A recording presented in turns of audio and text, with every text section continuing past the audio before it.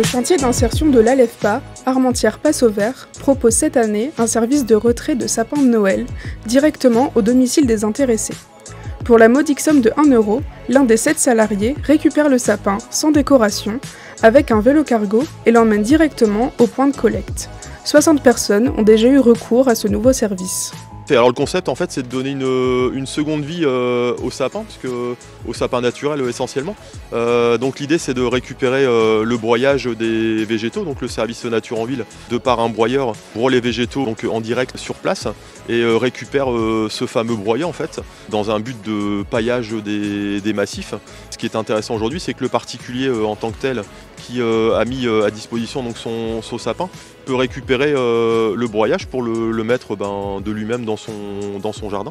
Donc l'idée de ce, euh, cette mise en œuvre en fait c'est de pouvoir euh, amender le sol. Ce qui est intéressant également c'est que ça, maintient le taux d'humidité du sol, euh, ça évite la germination des mauvaises herbes et ça intensifie un peu la vie microbienne du sol. Donc si vous n'avez pas les moyens d'amener votre, votre sapin ici à le parc à sapin, vous prenez contact avec la LEFPAC.